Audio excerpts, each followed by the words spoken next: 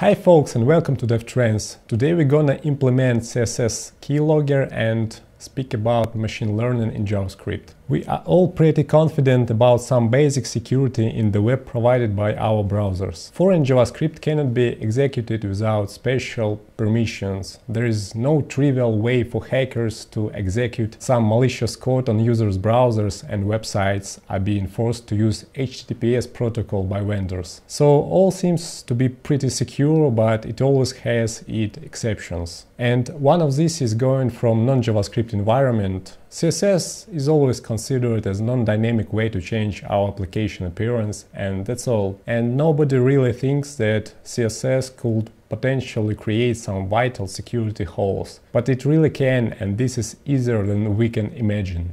And there is a recent disturbance about CSS security started with this repository, which is named CSS keylogin and it contains a server and a Chrome extension implemented a simple yet effective CSS keylogger based on some pretty trivial features of both CSS background URL and React way to update HTML attributes. But actually this is a really old topic which appropriately started in uh, 2012 uh, with a presentation from Mario Heidrich about scriptless browser attacks and all the history about the topic is available in this awesome live overflow video. You can check it out in the description link. We'll just implement the basics. So let's switch to code.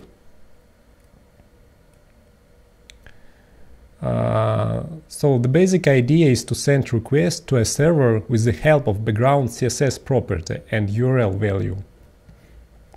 So this is it. And if a selector matches this property, a GET request is sent to specified URL to retrieve content from it. So when we provide uh, a value to our URL, uh, this value is intended by browsers to be an image, but we can send any GET request, literally any. So let's make use of this feature Let's now switch to code. Let's create some basic files.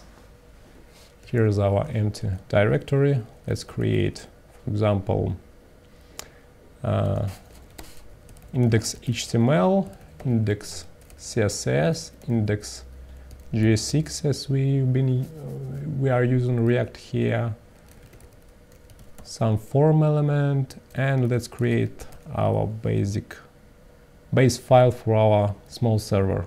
Let's create all of this. Okay, here we are. Let's add this folder. CSS, CSS keylogger. Here is it. Okay.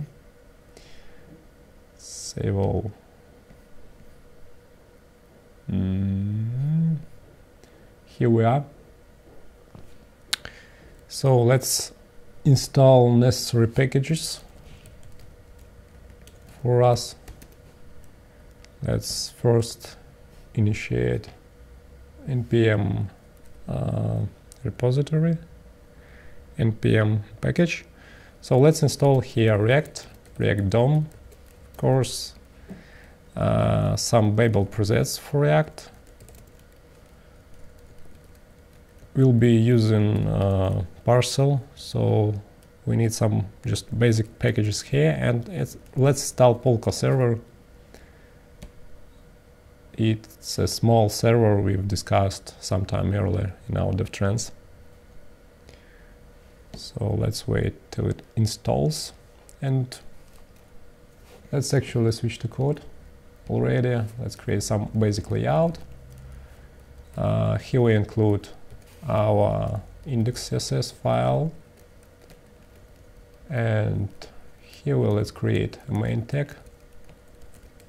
And here let's include index js6 let's save it. Okay. And let's switch then to our index.js6 file. Let's import. React here. Import render from react dom. And let's let's render. And let's import our form component. It's empty for now but we'll put some code later. Okay import form.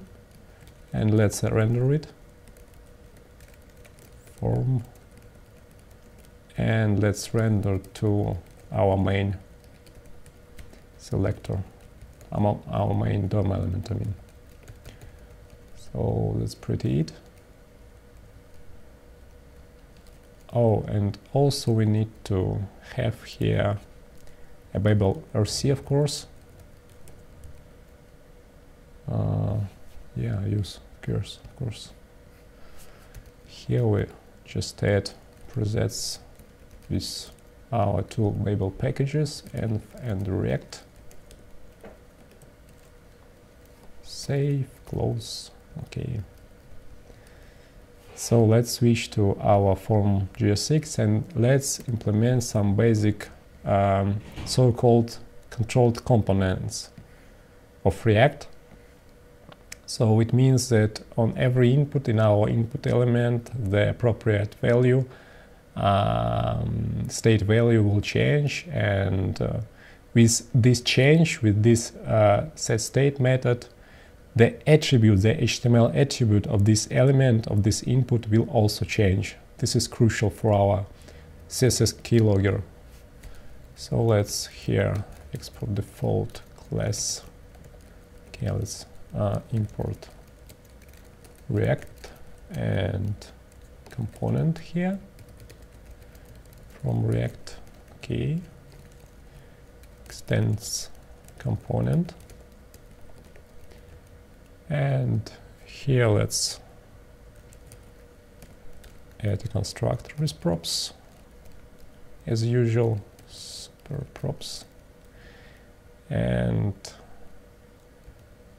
so let's set a state, basic state here with empty value for now. and let's make a render function which will render our form actually we don't need a full form we just need one input element with the type password and let it be value this state value. And let's create a change handler. Uh, this handle change, for example. And let's add this handle change method event. And on on every change of the input will set state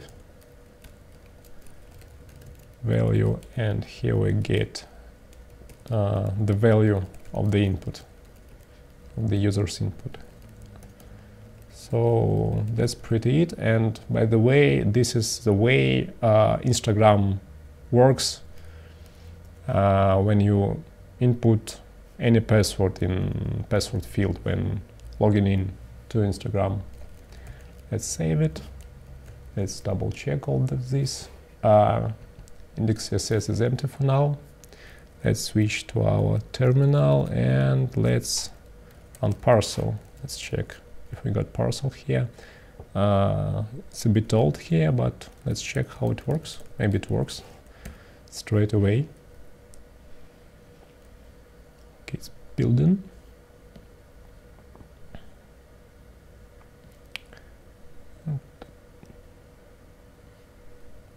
Let's wait a bit. Okay, it's built now. Let's go to localhost 1234 and we can see that there is an input. Let's open DevTools. See our input. I'll close this one. So here's our password. Let's check how the value is changed. You can see that on every change of, of this input, the appropriate HTML value attribute is being changed And if you go to Instagram and open DevTools and check the value of the password field of the login form, you can see the similar behavior. So now we are to add our CSS code, which will make request to our server. So for that, we'll go to this CSS keylogger extension. Let's just take this CSS style. So what it does, it basically adds a selector for each value of the password field for each latent character out of there and on each uh, character on each change of the uh, value attribute HTML it will send a GET request to appropriate endpoint of our server. So you can see there is partial selector of the value. So if you in uh, if we input a uppercase A letter, it will send to uppercase A endpoint of our server. So it's pretty neat. Let's copy all of these and let's go to our index CSS and let's save it. Okay, it's pretty printed already. It's great. So let's save it and let's double check our server again. Just reloading, for example. Here's our style sheet and let's go to network and let's see if it works. Not here, but here. So you can see there are requests going, but um, they are failing because there is no server yet. So let's add some basic server on Polka. It will be the last step for us. So let's create app. Uh, Polka is, uh, has pretty similar API to Express, so we um, creating a get middleware, which is basically a router, which uh, a route which uh, takes get requests, and here we can just console log rec params key and returning return response and simple empty end response. And let's listen to 3000 port of our local host. And let's create a new tab here. And let's just run our server there's no output but our server is working. And let's just reload our client, our code. Let's input some password. Like hunter2 the most popular password out of there. Okay there are some ah there's typo sorry.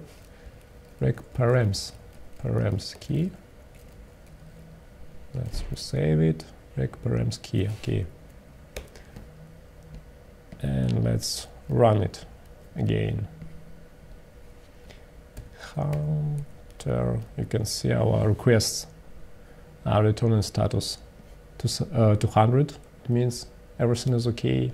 And you can see our server is catching all of these requests and showing us the passwords because of this uh, hacky CSS keylogger so that's pretty it.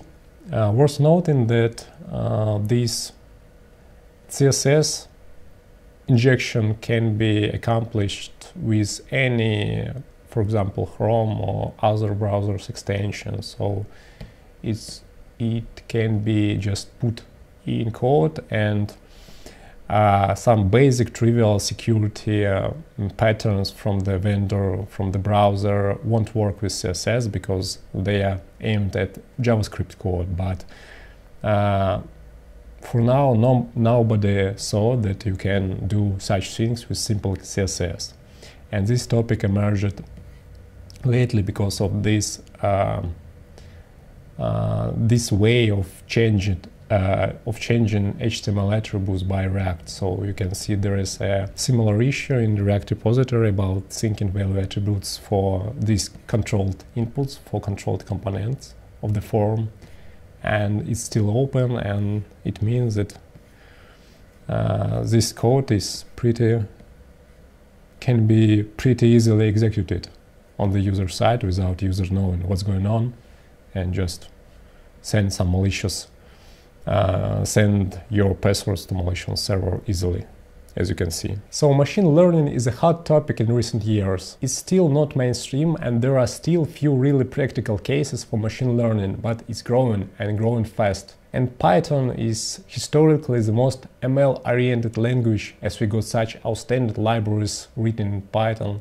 as Keras and TensorFlow. But what with JavaScript? Well, there are opinions that JavaScript is not enough professional for machine and deep learning. But as for me, there is no big truth in these words as similar opinions emerged after first release of Node.js. Some developers made jokes about server-side JavaScript like what the heck is that and there is no chance that buggy browser language could make use on the server. And look where we got now. JavaScript is fourth years in a row the most popular language in the world, both on the client and the server. And going back to machine learning, there are already numerous popular ML libraries written in JavaScript. And among the most prominent ones, there is DeepLearn.js, which provided similar to TensorFlow API, and as it states, it brings hardware accelerated machine learning right to the browser. And on the other side there is Propel, which works both in browser and on the server and makes heavy use of GPU as well. It is pretty new library but already has plenty of stars on GitHub uh, for machine learning library written in TypeScript. And moreover, if we check the contributors, we can see that one of the top contributors to Propel is Ryan Dell here, who is the creator of Node.js itself. By the way, Ryan is going to make a presentation about Propel in uh, on JSConf EU, which will take place in Berlin in June. And so even if we are not going to visit it, I'm pretty sure there will be a video on JSConf YouTube channel shortly after the presentation. So we can check it out later. And also, there is a Brain.js, which seems to be the simplest library for machine learning in JavaScript, but it is a really great way to start learning ML concepts from scratch. And if you haven't yet decided whether you need to jump into MLDL train, there are two awesome arguments that popped up recently to convince you and help you starting. Firstly, there is an outstand a really outstanding 12 minute length video on how to build a simple machine learning algorithm from scratch. Uh, it's called Machine Learning Tutorial for Beginners from Learning Code Academy. And here author implements a model to switch text color based on currently selected background color. This is really simple and entertaining video that will help you to get your head around the basic the basics on how to create and train your first model. So you should definitely check it out. And secondly, there is no less awesome post from Daniel Simmons who guides you through the creation of your own neural network from scratch. And it's, it's called you can build a neural network in JavaScript, even if you don't really understand how it works, how net neural network works. But it's really easy to read and enjoy enjoyable as well. So worth noting as well that both these tutorials use Brain.js library, this one, and are definitely worth checking if you're ever wondering how to get into machine learning basic without any struggle. So that's all for today folks, all the links are in the description below, thank you for watching and stay trendy!